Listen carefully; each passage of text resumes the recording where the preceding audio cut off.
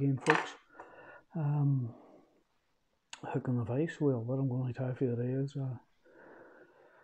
a, a suspender buzzer, size 12. So hook and the vice is a size 12 Paragus buzzer hook from Blood and Buzzer. The thread I'm going to use is Semperfli uh, 50 denier and black.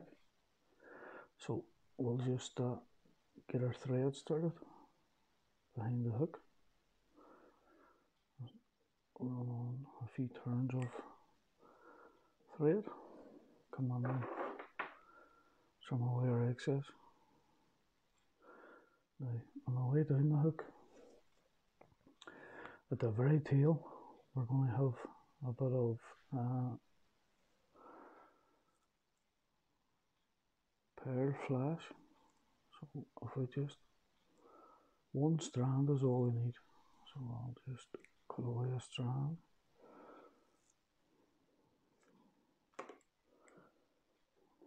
So that's our strand of flash. Double this over. And tie that on as we're, as we're coming down. So punching up the start. Thread on down towards where we want our buzzer to start.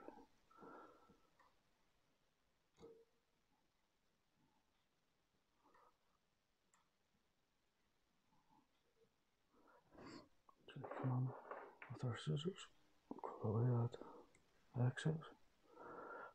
Now that, that flies at the tail, um, don't remove that yet.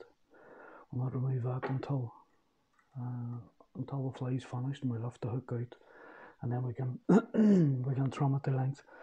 Now there's a couple of elements on the fly itself. Now we have black peacock dubbing and the ribbon the fly is this is a single strand a rainbow flash now what I want to do with this is if I can get the blue in this where it changes from the gold to the blue trim that off. And we want this blue colour here. So we'll tie this on. To start with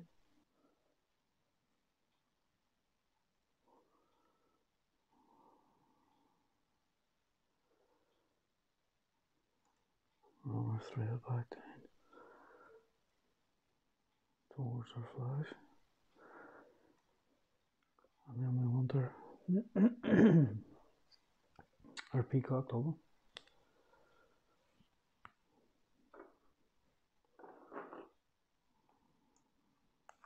this is just black peacock dubbing so punch of this spun that on our And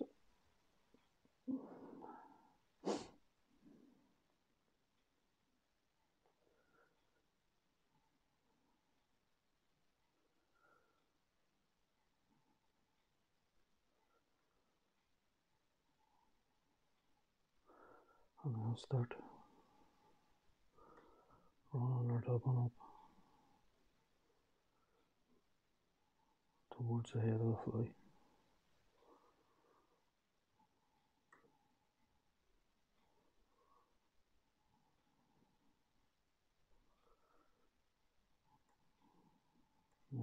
That's far enough because we'll have our uh, baby foam to go on. So the next part on the flight is our baby foam. Now, this is um, it's a five millimeter black booby cylinder.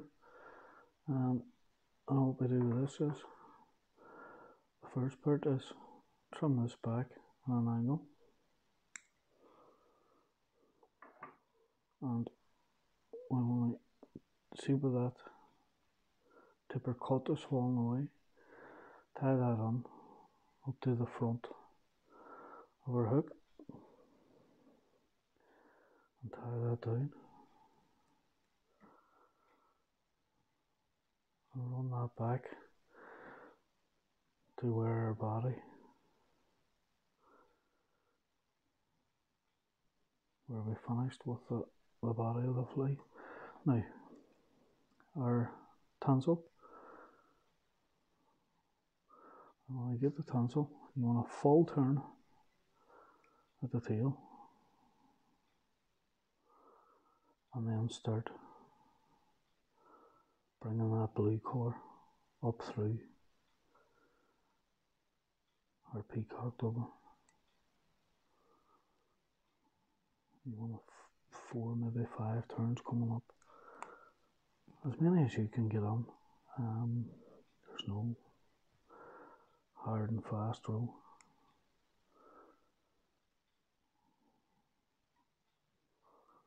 And then tie that off in behind their booby foam. On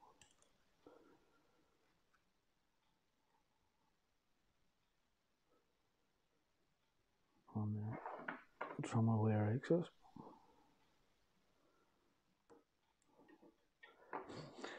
So at the head of our fly, um, for our thorax is this is just blue flashed over and we only need a wee nub, not very much of this, the slightest wee punch and it's just to add colour underneath the foam. What we'll do is we'll double back the foam and tie it down. So we'll tie on this. This blue um, just to give us that extra colour underneath the foam.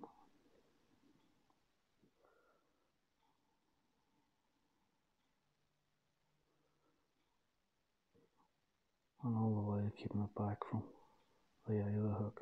As I say, we have our, our booby foam double over. So, now the booby foam, you just want to bring that back on itself.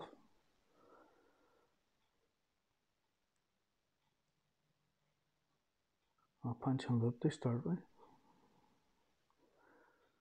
Get our booby foam lined up.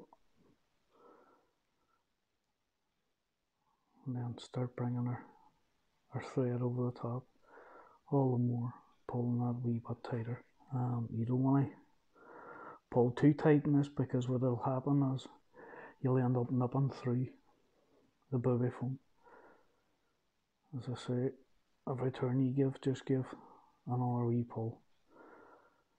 And then they finish our fly off pull our foam back come on behind the and as I said before, I always will finish behind. So underneath the foam and behind the eye of the hook. Three or four turn will finish.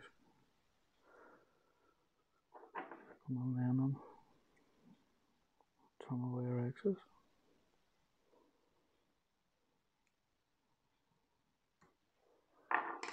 Turn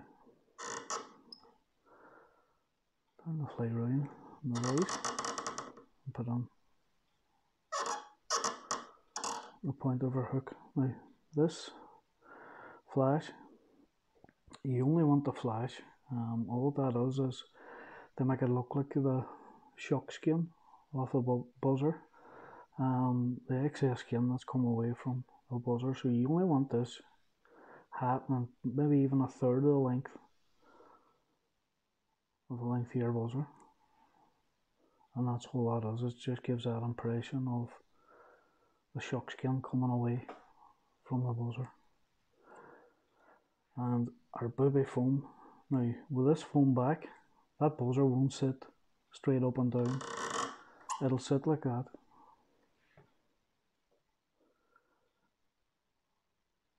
your water surface will be here. And your buzzer will be just underneath. And what you'll see is you'll get a peacock on your body, the blue from your thorax, and then the pair from your from your shuck. And as I say, it sits more like that than like that because of the foam back. Um, now for me, rather than the other one called a top hat where it just comes straight up, I have more success on these than I do on a top hat. So this foam, um, just command them. give yourself a reasonable length. And what you can do then, um, if you look and it's a bit too long, whenever you're fishing, if you can see the foam too high, um, I think we all, the majority of us carry scissors with, just come on and trim a wee bit off the top. But that is basically our uh, suspender buzzer. Now, that there, I would fish on a 8 to 10 foot leader, fish it single fly. Um, I would use floatant or gink and only gink the very very top of that there. Don't do, don't plaster it all around here no. Because what happens is when you cast it out and that hits the water, any floatant that's on it disperses. And if your fly hasn't sunk down far enough, that whole thing's getting clattered and floating. Whereas if you only do the top hat, the very top here, slightest wee touch, that's all you're looking to, to keep up as this foam part here. You don't want the rest to float. So, as I say, um, that's a very, very simple suspender buzzer and one that I've had quite a bit of success with.